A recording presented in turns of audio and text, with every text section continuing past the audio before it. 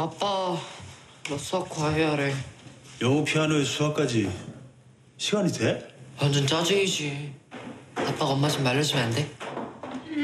중학교 올라가기 전에 수학 잡아야지. 안 그럼 나중에 더 힘들어져 안 돼. 나중에 더 힘들대는데 아빠, 남들이 하는 거 굳이 다 따라 해야 돼. 우리 아들 수학 점수로 좀 딸려도 창의력은 좋잖아 아빠 닮아서. 그치.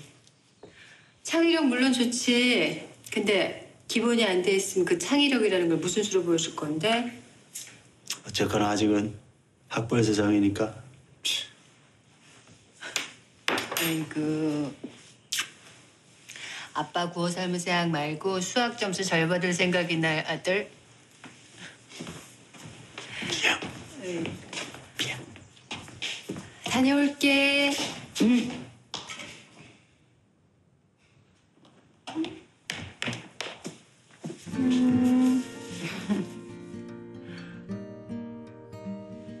나 좀 들어 보이지 않아? 뭐좀 잘 됐는데 왜? 아, 그러게. 넌 나이 들수록 예뻐. 아유, 아유, 아유.